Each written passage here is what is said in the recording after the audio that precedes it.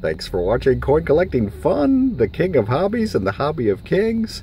Here is a 1990 D Jefferson nickel.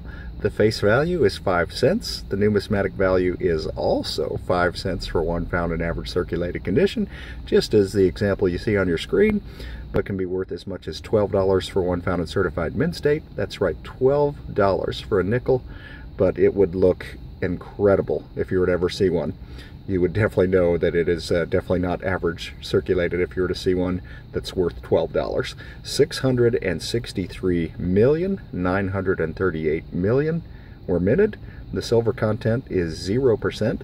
This coin is an alloy, meaning a mixture of two metals, 75% copper and 25% nickel. And as we look at the front of the coin, or what's known as the obverse of the coin, we see Thomas Jefferson in the front of the coin here. And he is in the center of the coin and he is facing left. And God we trust Liberty 1990 which is the mintage year the mint mark D representing the Denver Mint. Now let's go ahead and take a look at the reverse of the coin.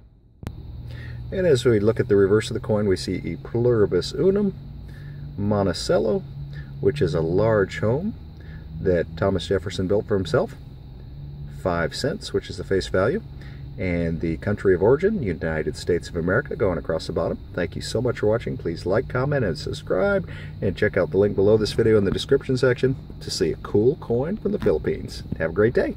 Bye.